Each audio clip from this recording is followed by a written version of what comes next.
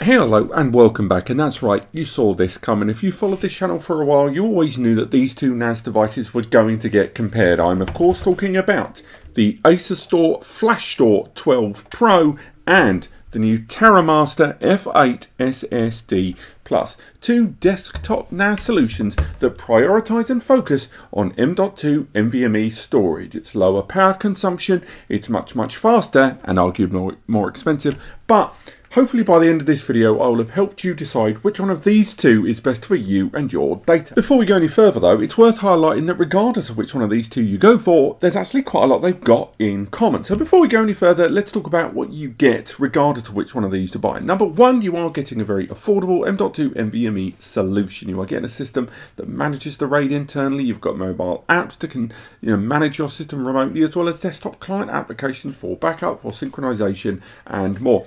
Both of them are turnkey NAS solutions. That means that not only are you getting the hardware, but you're getting a full operating system included with it. Also, both of these platforms support the use of third-party operating systems like Unraid, TrueNAS, OpenMediaVault, and more without it invalidating your hardware warranty, which is lovely stuff. Both of them feature 10 GBE, more on that later on. They both support Intel CPUs, more on that later on, and both of them use a very, very similar software architecture that supports both ext4 and BTRFS as its file system of choice. But that's enough about what they've got in common. You came to this video to understand the difference and what is best for you. One of the first and earliest differences between them is the release difference. The TerraMaster was released in September 2024, whereas the FlashStor was in spring 2023, somewhere between April and May, depending on where you are in the world. So a huge difference there of well in excess of a year and a bit. So what about those differences? Well, number one, what about the price tag? Weirdly, despite the price diff I'm sorry, the time difference in their release, the price of both of these devices is extraordinarily close with the FlashStor retailing across numerous retailers between around 779 and $799. That's across Amazon, B&H and a bunch of other retailers. Uh, the TerraMaster F8 SSD Plus, uh, a lot newer. Its price tag nowhere near as flexible right now, but it still retails at $799. So there's really only 20 or $30 between them. And even then, I imagine this will come down in price relatively soon. And that's much, much closer to the RRP, but still, that price difference, although obviously it would be very easy to say this one wins this round because it's cheaper, the price difference is so small, given the date difference between them, that I think there's a little bit of hmm, give and take there between the two of them. So moving away from the price tag and what you're paying, I think it's important to talk about value. Both of these systems kind of present a different stance on value. Now what do I mean by that? Well, if we go down to the design, they're actually almost identical in terms of volume. The difference between them, this one is definitely the smaller, but I know it looks like the, uh, the Asustor is significantly bigger. If we lay it on the top, we can see it's bigger. It's also deeper than the FlashStor. And actually, volumetrically, there's a huge amount of difference between them in terms of physical footprint in your own office or home location there. Now, the CPU inside the FlashStor is obviously the older of the two because it was released a lot earlier. Takes advantage of the N5105 or N5095. There is some different CPU runs there from Intel. It's a quad-core CPU with a 2.0 GHz clock speed that can be burst up to 2.9 GHz. It also arrives with 4 gig of DDR4 memory, and that uh, system across all of the M.2 NVMe bays is 3 times 1 speed on all of them. Now, uh, that CPU has a 10 watt TDP uh, power reported heat and power consumption, and an integrated graphics uh, that starts at 450 megahertz that can be burst up to 800 megahertz when needed for the integrated graphics. Now, what's changed in a year? Well, first and foremost, the TerraMaster arrives with a much newer and more powerful and larger N305. It's an i3 8-core processor. It's got 8 threads, that's got 4 threads, but still, there's a lot more under the bonnet. With a 1.8 gigahertz uh, base level clock speed that can be burst up to 3.8 gigahertz, that is almost twice that of the Asustor. The CPU has a 15 watt TDP and its integrated graphics start at a slightly lower 350 megahertz, but they can go up as high as 1.2 gigahertz for integrated graphics handling there on board. So again, more power under the bonnet is the big takeaway here. And yes, that higher TDP does mean it's going to slightly be more consuming of the old Lecky build there. Now, memory, it arrives with 16 gig of DDR5 memory that can be scaled up to 32 gig. So it arrives with four times as much base memory as the FlashStor and can be scaled up twice as high in terms of the maximum. So again, this is why we talked about price when we really should be talking about value because you actually get more in terms of your hardware in this solution but you would expect that as it's a newer solution overall and indeed a couple of things to note number one this Asustor Flash Store, the Asustor are working on a newer revision of this system that doesn't, I don't know if it's going to replace this, but that newer system is a pinch beast. Look it up, FlashStor Gen 2, there'll be a link in the description. And on top of that, both of these systems also arrive with a slightly pared down version in the FlashStor 6 and the F8 SSD Non Plus. But even when you compare those two at very similar pricing points at 499 and 459 respectively, the Asustor has the same CPU as you see here, whereas this has a newer N5, uh, N95 CPU and 16 gig of memory and still has 10 GBE, but more on that in a moment. The point I'm making is, even when you scale things down, the TerraMaster still gives you a better value for money in terms of hardware currently, but again, you would expect that given it's the newer solution. Next up, storage. Between these two, storage is definitely different. The Asustor here has 12 M.2 NVMe slots internally. 12 of them all at 3 times 1 feeding into a PCIe switch internally to manage it all.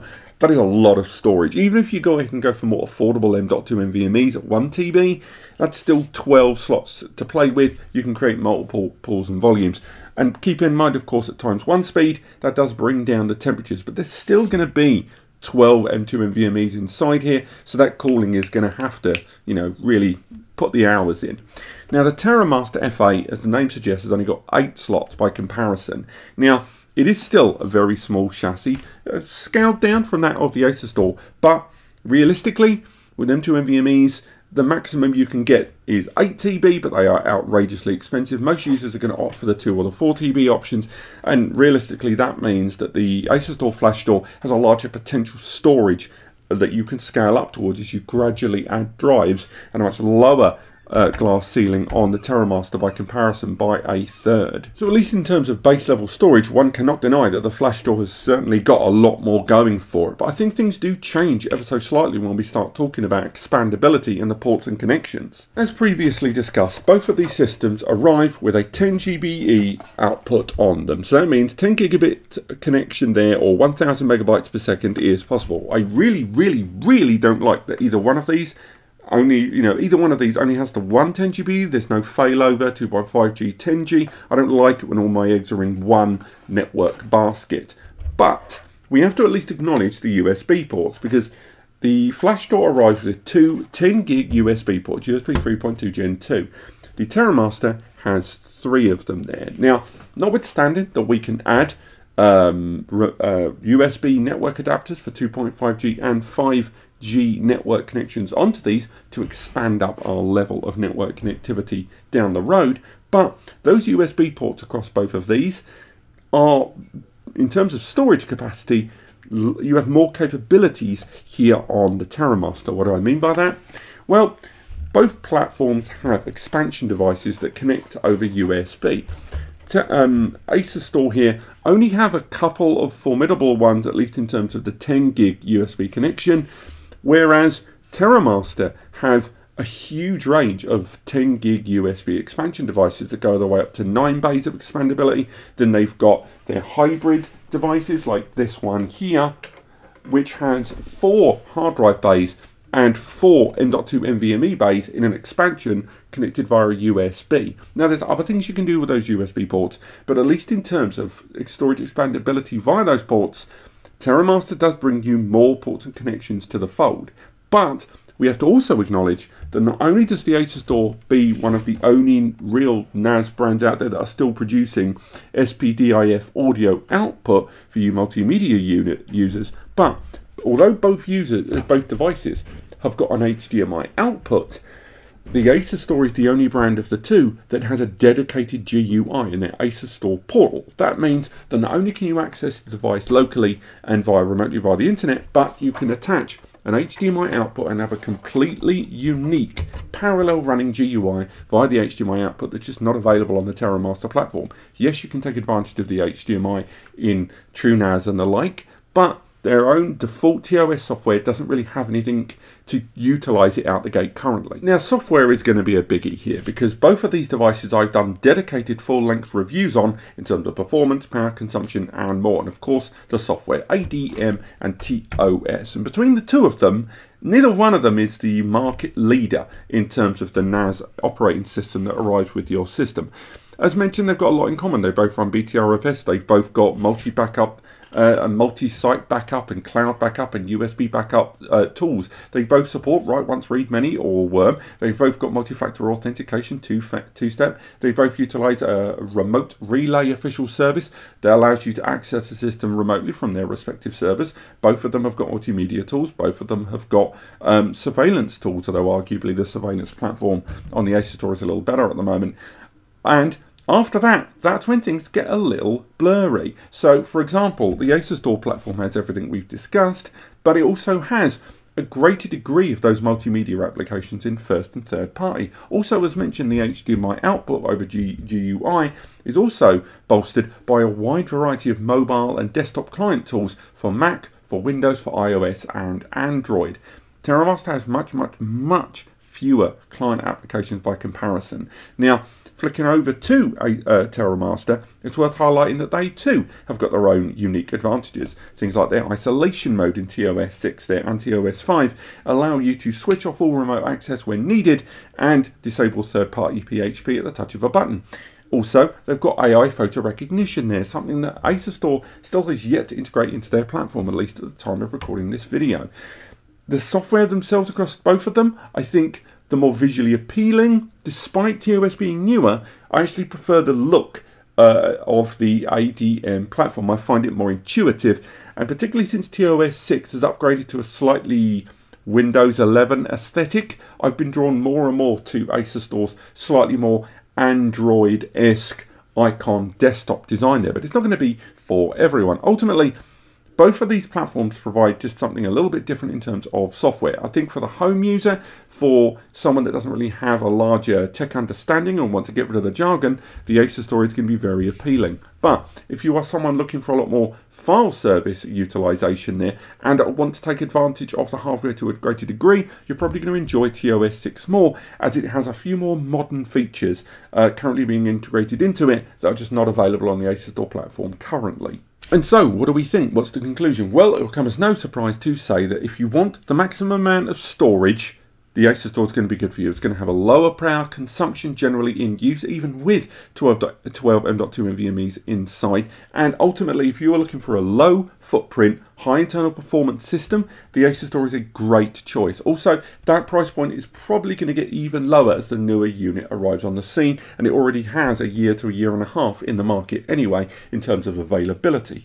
Now, the TerraMaster, on the other hand, gives you more power, more capability, more functionality, and is a great deal more compact as well. It's the newer of the two, and unfortunately that is reflected in the price. If you want to get more for your money, the TerraMaster is going to be the option for you. Notwithstanding all of the features I've just described, it's a newer CPU, you get more memory, you've got more USB expandability there, it's just ultimately a newer and more advanced product, at least in terms of hardware, between the two of them. The software, there's some give and take, but between the two of them, this is the one that's going to make the biggest splash and has got more capability to get the job done. But the Asustor is a far more discreet footprint and large storage capacity out of the gate should not be ignored. But what do you guys think? Do you own one of these two devices? Why not let me know in the comments? It'll be interesting to see which one you go for or which one you already have gone for. Let me know. There should be an article linked below over on NASCompares that breaks down a lot of this video into a greater degree of detail. I recommend you check that out. But apart from that, there are links to both of these systems